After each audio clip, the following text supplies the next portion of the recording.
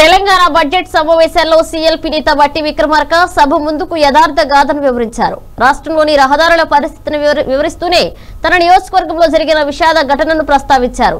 రోడ్లకు మరమ్మతులు చేయాలని సవినయంగా విజ్ఞప్తి చేశారు. రాష్ట్రంలో రహదారుల పరిస్థితి అంతా బాగోలేదని బట్టి మల్లు విక్రమార్క పేర్కొన్నారు.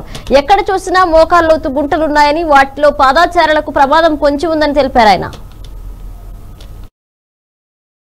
ఆ, మధిర శాసనసభ నియోజకవర్గంలో ఎరుపాలెం మండలంలో బనిగళ్ళపాడు నుంచి తక్కెళ్ళపాడు వెళ్ళేటువంటి రోడ్డు గత నాలుగు సంవత్సరాల క్రితం ఒక తుఫాన్ సందర్భంగా రోడ్డు రోడ్డు అంతా కొట్టుకొని పోయింది అధ్యక్ష వాగు పైన. ఆ వాగు పైన నాలుగు సంవత్సరాల నుంచి రోడ్డు వేయమనంటే ఇంతవరకు వేయకపోవటం వల్ల మొన్న మార్చి నాలుగు ఐదు తారీఖుల్లో ఆ గ్రామానికి సంబంధించిన బనిగళ్ళపాడు గ్రామానికి సంబంధించిన మాధవరెడ్డి గారు అబ్బాయి అధ్యక్ష పది పన్నెండేళ్ళ వయసు ఉంటుంది. ఆ రోడ్డు మీద వెళ్ళి ఆడ ఆ కొట్టుకొని పోయిన సంగతి ఆ దగ్గర పోయిన తర్వాత కాలుజారి అందులో పడి చనిపోయాడు అధ్యక్ష. చాలా బాధాకరమైన కలిచివేసినటువంటి సంఘటన అధ్యక్ష. దయచేసి మీ ద్వారా రాష్ట్ర ప్రభుత్వాన్ని నేను కోరుతా ఉన్నాను.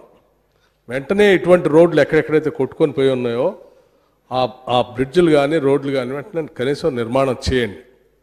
మనుషుల ప్రాణాలతో చెలగాటం ఆడకుండా ఈ రోడ్లు ఎమ్మటే మర మరమ్మతులు చేస్తే కొంత మేలు జరుగుతుంది. దయచేసి వెంటనే చర్య తీసుకోవాల్సిందిగా మీ ద్వారా రాష్ట్ర ప్రభుత్వాన్ని కోరుతా ఉన్నాను.